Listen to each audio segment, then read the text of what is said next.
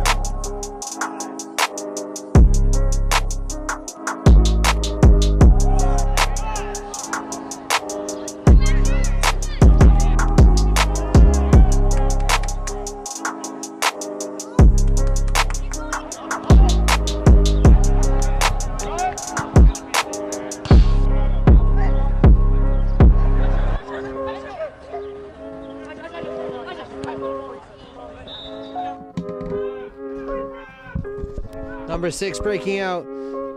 Asher Pereira. Pereira sending the ball up. Ball going up. Looking for number six on Blue Devils.